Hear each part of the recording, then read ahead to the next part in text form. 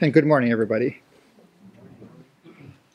All right. Um, as Drina said, uh, uh, we're going to talk this morning about democratic transitions and governance. And I uh, would like to frame that in the sense that this is a time of testing for Africa. Um, on February 15th of this year, um, Cyril uh, Ramaphosa became president of uh, South Africa. He was sworn in. Um, and with his taking office, he um, succeeded what had been eight years of very turbulent governance in South Africa, led by Jacob Zuma. And during uh, Mr. Zuma's tenure as president in South Africa, there was a steady stream of allegations of corruption, abuse of power, um, obstruction, obstruction of justice, politicization of the police force, uh, intelligence services, um, and a decline in government services uh, overall. Now, so rampant was the um, allegations of patronage that the term state capture, or you know the the notion that uh, different organs of the state become controlled by private interest, um, the, the, term became uh, a household uh, a household word in South Africa. Yet, um, in the end, um, uh, Mr. Zuma uh, was forced to step down. Was, was forced to step down, and President Ramaphosa took office. And this was in no small part due to the pushback that uh, uh, President Zuma faced during his time in office. And this pushback came from uh, a number of different places. Um, number one was the independent media in South Africa. You know, they were relentlessly exposing and talking about the different misdeeds of the Zuma government. Um, there was, uh, uh, in the South African system, a public protector's office. So it uh, did special investigation, um, trying to uh, look at the legal basis of the different allegations. Two different public protectors issued, you know, two um, very comprehensive reports that documented um, the, the, the various uh, allegations um, that had been made against Mr. Zuma. There was an active uh, opposition uh, set of parties that were uh, continually calling for higher standards. Uh, and even the African National Congress, uh, the ruling party, um, ultimately came to the conclusion that Mr. Zuma was um, uh, more of a liability than an asset. And you know, this was a no small determination because many in the African National Congress had come to benefit from Mr. Zuma's patronage. Uh, and finally, um, uh, South Africa has term limits. So even though uh, Mr. Zuma was forced to step down uh, a year before he would have uh, normally, he was faced with um, uh, uh, end of his term uh, regardless, uh, which would have led to, to one form of transition or another. And so South Africa passed its test. You know, it faced very strong strains on its democratic systems, but it passed. Um, and we can contrast that with um, a number of other cases in Africa in the past year um, where faced with similar strains, um, they didn't pass. Cases in Zimbabwe or Kenya, Uganda, Democratic Republic of Congo, Burundi, and South Sudan. Um, and there are many reasons uh, for the different outcomes. Each country is different, of course, and there's a lot of unique circumstances. Um, but I would uh, draw to your attention the importance of institutions of accountability for leading to these different outcomes. Uh, in effect, these institutions of accountability are various uh, means of checks and balances in a society. And importantly, um, this is more than just the traditional uh, different branches of government and different power that's shared among these different branches, the legislative, judicial, and executive. Um, but rather it's uh, layers of accountability of both formal governmental uh, mechanisms of oversight as well as informal or societally based uh, mechanisms of, of, oversight. It includes a, a merit-based professional civil service, um, includes political parties, both ruling parties and opposition parties, and the different standards that they um, seek to uphold. It includes independent prosecutors' offices that has the jurisdiction to do independent investigations. Um, it depends on a free press and access to information. It depends on independent central bank that can set monetary policy um, aside from, from politics. Um, requires an active civil society and people getting organized and raising concerns. Um, it even uh, requires a apolitical private sector where access to property or credit or licenses can happen uh, without having uh, political ties to people in power. Um, and there's also a, a, role for international organizations, regional organizations, in setting standards and norms uh, within these different contexts. So this isn't an exhaustive list, um, but it, it's meant to just show the different levels of accountability that um, take root in a society and which help to keep a democratic course on track. Often refer to these um, as layers or, or, or, a web of accountability. Um, another uh, image of this is of a steel cable. You think of a steel cable that holds up a bridge, and these steel, steel cables are made of in, individual strands of steel. Um, each strand on its own isn't that strong. It can be easily broken. However, when it's intertwined together with you know, dozens of other cables, it becomes a pretty strong uh, support. And it's in the same way that these institutions of accountability, there isn't any single one of them that uh, is uh, a magic bullet, but rather it's the combination of them that leads to this web of support, this, these layering, this buffering that protects democracies and allows them to stay on course. And you know, my message today, it's building those institutions of accountability that is the focus of strengthening democracy in Africa today. It's the real challenge to building democracy in Africa today. And in recognizing that, it's important to point out that you know, there's often a, an assumption that democracy is all about elections. And yes, and elections are a key part of democracies. But Democ elections are just one event. And democracy is more than that. Democracy is a process of governance. It's a day-to-day -day process. It's a matter of um, respecting individual political rights and civil liberties.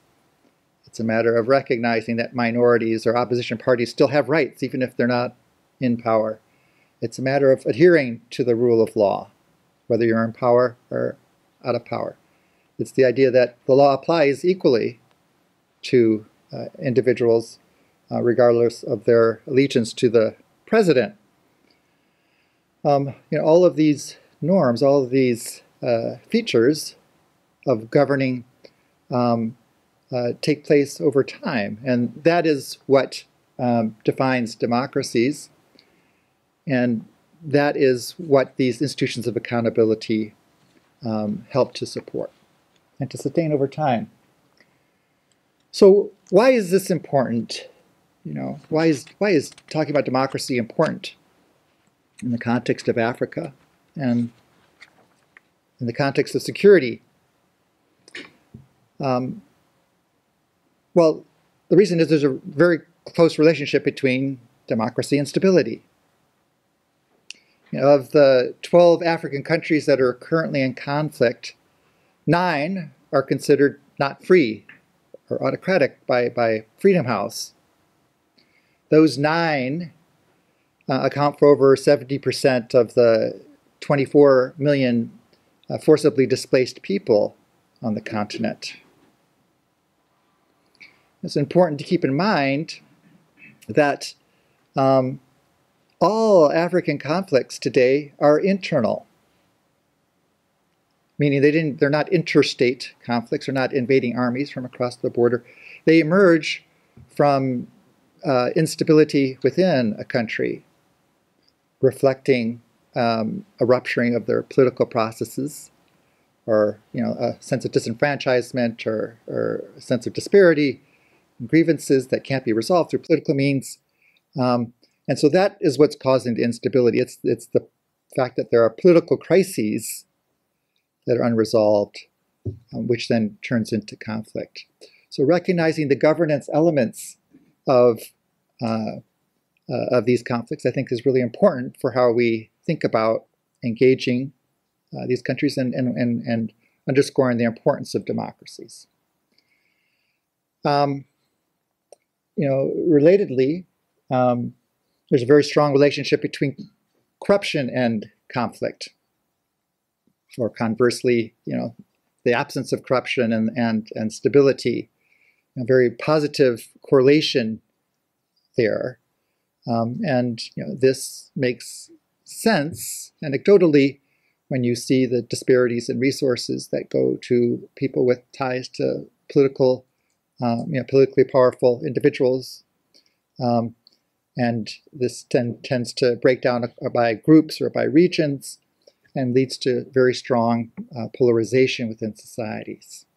And when not resolved, or when there the means to resolve that internally, it can turn into conflict. So, authoritarian systems tend to be more unstable. You know, converse, democracies tend to do a much better job at avoiding conflict. They have means of resolving political crises. Um, there's a, a, greater propensity to respecting the rule of law and property rights, which creates a more reliable investment environment. This in turn helps spur economic growth. Democracies have a stronger track record for human development. You know, all these things have positive uh, benefits in terms of avoiding conflict. So let's put this in historical context. Um, these are trend lines of uh, Africa's regime um, uh, categorization over the last uh, 25 years or so, since the end of the Cold War. And we can draw a number of different uh, observations from this. You'll see the, uh, the black line is the number of autocracies uh, on the continent. The blue line on the bottom is the number of democracies. And the yellow line are countries in between. That's a very simple uh, categorization. Um, but nonetheless, I think it's illustrative for showing us a couple of things. First, you know, since the end of the Cold War, we've seen significant change. At that time, nearly all African countries were autocracies. And, and since then, there's been a dramatic decline. Um, meanwhile, we've seen uh, at the time of the end of the Cold War, there's just two uh, democracies, and, and, and now we have seven or eight. So there's been a, a gradual increase. But the real change is that we've seen most African countries move out of the uh, autocratic column into this uh, middle column. You countries that are that have made some changes. They've built some of their democratic institutions, but they haven't consolidated these changes. Um, and so they're still on the path. And I should point out, I mean, even when you reach the, the democratic threshold, it doesn't mean you know, that the story is over. These things still need to be renewed and, and, and maintained. But I think the real takeaway for this is that so many African countries, um, and I would say there's two dozen actively engaged uh, countries that are in the process currently of trying to build those institutions. And so that's the focus of the democratic story in Africa today.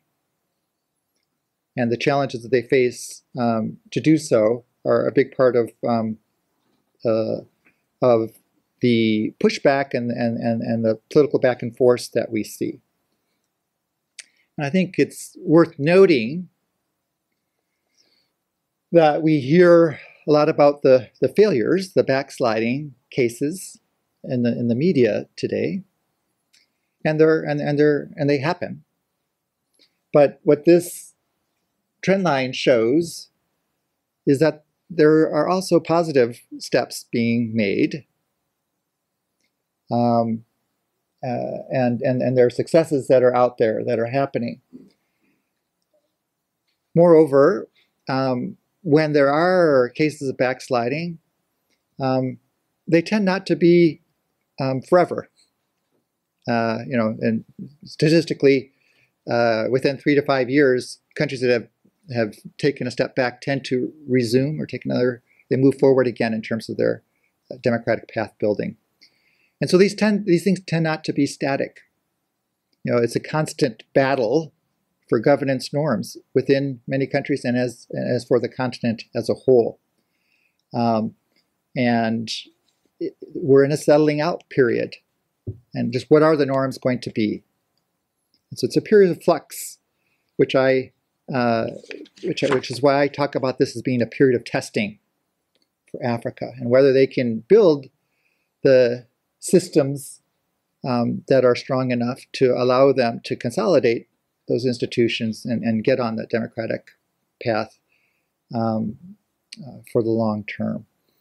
I think a, a, a worthwhile um, example of one of the positive cases is Ethiopia. Ethiopia still cannot be considered a democracy, but for a long time it's been in the autocratic column. Uh, but over the last few years, um, even though Ethiopia had been seen as a stable country, there were a growing number of protests all around the country. Ethiopia has Africa's largest military, and it was being increasingly deployed to suppress these protests. Um, and they were finding that they, they, they couldn't keep up.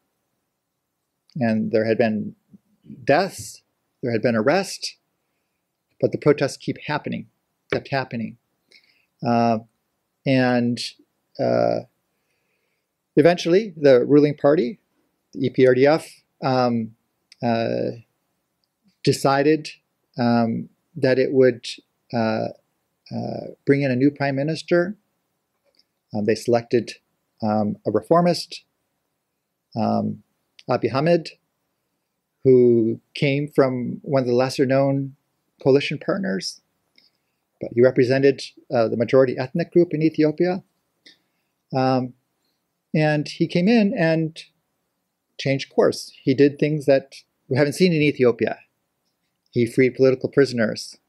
He recognized that there had been abuses by the security forces. Um, he said that Ethiopia does need to move to a democratic system. Um, these things were wildly popular in Ethiopia. Um, protests went down. You know, Instead, there were mass, mass rallies in support of him. So he created political capital that allowed him then to take on other reforms and other changes. And including, and importantly for our discussion about security, he was able to negotiate um, a uh, end to the you know 20-year stalemate um, uh, um, uh, I guess the, the, never resolved conflict with Eritrea on the border. So they were able to sign a peace deal, reopen those borders. Tens of thousands of troops that had been deployed along the border on each side were able to stand down. You know, it's a huge economic savings. It's going to open up trade again, open up access to those ports. So lots of implications from this political change um, that was more inclusive, it's more participatory, um, that's moving Ethiopia on a more democratic path. Still a long ways to go. There's still going to be pushback.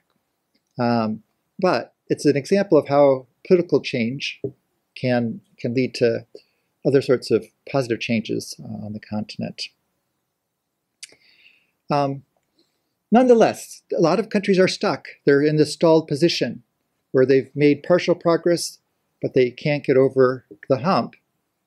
Um, and, um, you know, there are many reasons for this, but clearly a lot of these countries are facing pushback from uh, um, those with interest in maintaining the status quo, people who benefited under the old system. And so that's the challenge for this institutional reform. Um, and Africa is dealing with a long legacy of what's called big man rule, the idea of a patronage, personal, personality-based political system where um, what the leader determines is above or below the law uh, is what's enforced rather than what's in the Constitution or what's uh, on the books. And as a result, many state organs tend to be loyal to the individual rather than to the state, um, which leads to, to a lot of instabilities that we see. And um, this is just a current breakdown of, of where some of this of these uh, states are currently uh, on the continent. Again, you see the long list of democratizers. Um, and so that's where the real change is happening today. But one of the institutional changes that I would highlight as an example of sort of this pushback is in the area of term limits. So with the movement towards democracy at the end of the Cold War, uh, a number of African countries began to institute term limits on the, on the time that uh, presidents could stay in office. And this is particularly important in African context for the reason I talked about, whether you have this legacy of big man rule, where individuals, presidents, once in power, would, would use that to monopolize both political and economic power in society and stay in power for life and that would then feed corruption and um, and underdevelopment. Uh, and so, by limiting the time in office of these leaders, the idea was that you are going to help facilitate um, more pattern succession, more power, uh, a pattern of power sharing, and um, indeed, uh, you know that has had some positive uh, effects. Today, there are 21 uh, countries in Africa, those in the green, that have presidential term limits. Um, another 15 countries have the, the laws in the books, though it, it hasn't been upheld yet. Uh, those presidents haven't come up to their, their, their limits. Those are the, the beige um, color countries. So, you know, 36 countries out of 54 um, have at least made a, um, a determination that there'll be term limits. Nonetheless, since 2015, we've seen five countries um, that have evaded term limits. So president and leaders in those countries had term limits on the books and they were able to get the constitution changed or somehow um, evade those strictures um, so they could stay in office longer. So there's a there's a total of um, 18 countries that don't have term limits. And the differences between those that do and those those that don't are, are striking. Of the 21 countries that have and have, upheld term limits, the average time of uh, average time in office for presidents is about four years.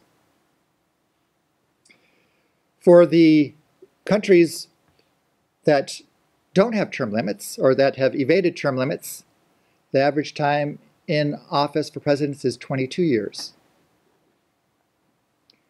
Um, and coming back to our point about conflict, you know, for those countries where uh, leaders have evaded term limits, a third of them are in conflict. So less than 10% of those with term limits are, are in conflict. So building these institutions is hard, but they have a huge impact uh, on stability and on governance. All right. So what can be done to help support democracy in Africa? You know, ultimately, passing these tests has to be done by the Africans themselves, by citizens, by leaders in these countries.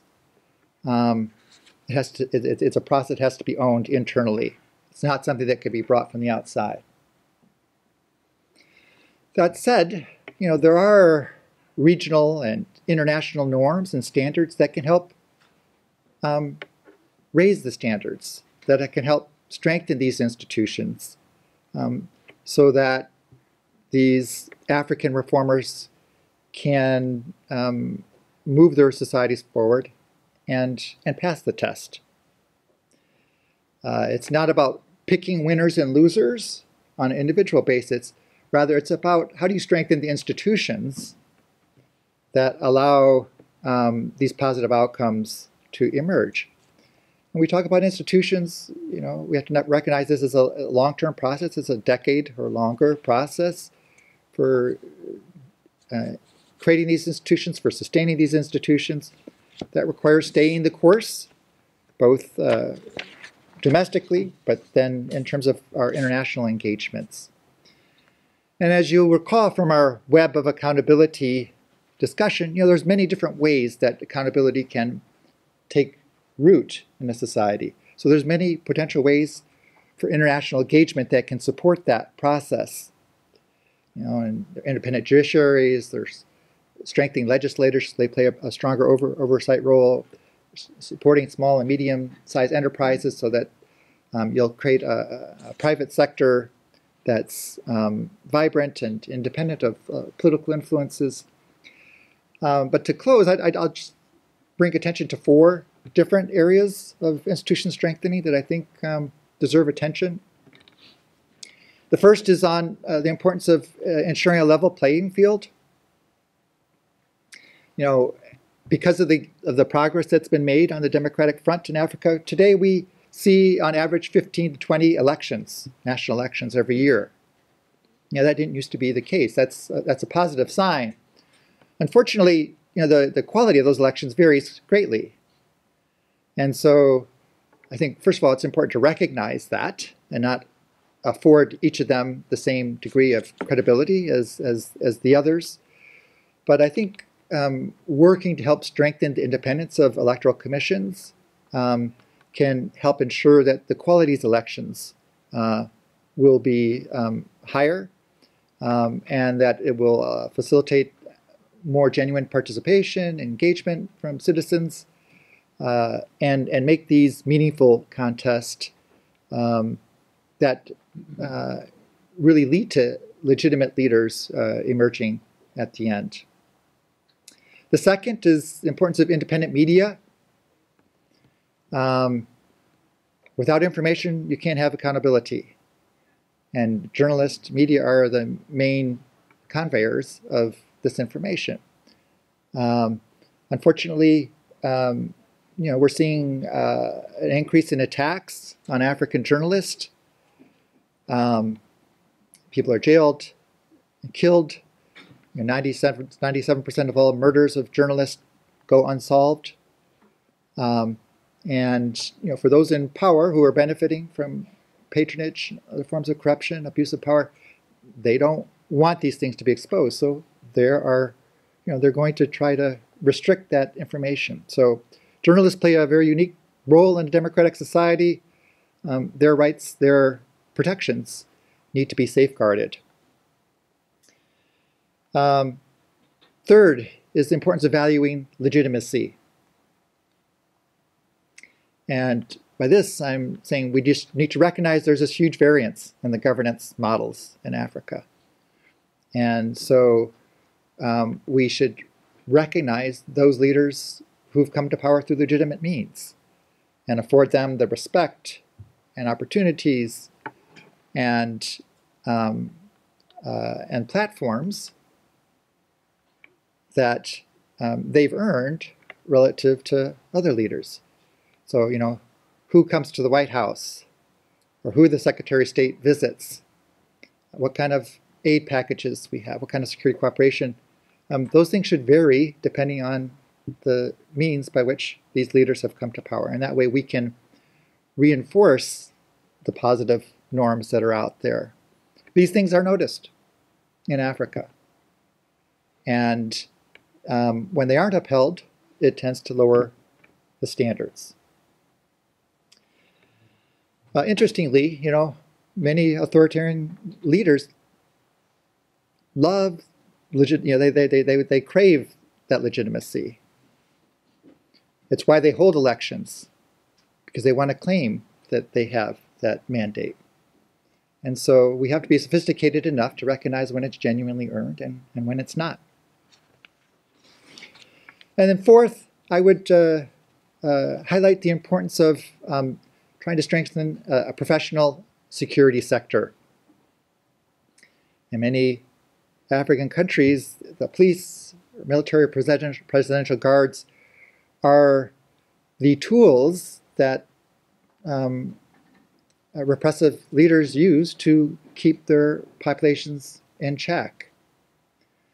And this uh, uh, ends up um, not creating stability, but really just creating a pressure cooker environment that will end up uh, spilling over in different ways of instability.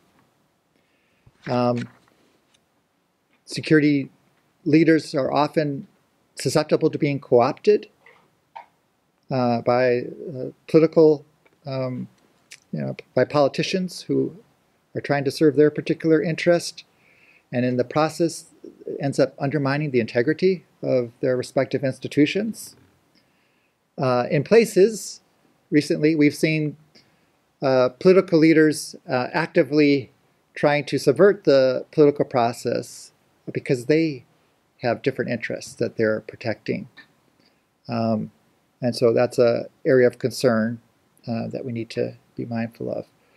But you know, I think it's interesting, uh, some recent survey work we've done here at the Africa Center uh, among African military professionals showed that the um, engagements with international um, security actors through professional military education institutions or through peacekeeping deployments, those types of experiences are the most formative experiences that these African security professionals have in their identity formation, in setting standards in terms of their uh, sense of professionalism.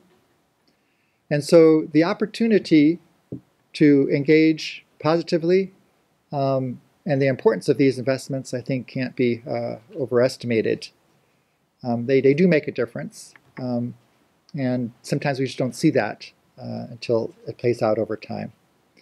So in some uh, Africa's democracies and democratizers at all levels are, are facing strains uh, as they try to move towards what is still a new governance model. We're seeing progress. We see sum setbacks.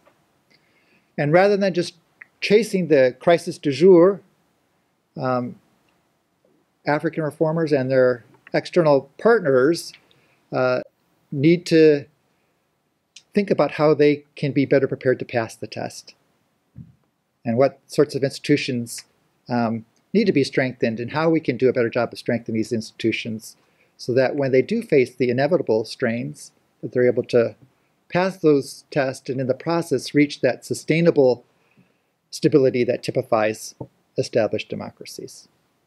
All right, thank you very much.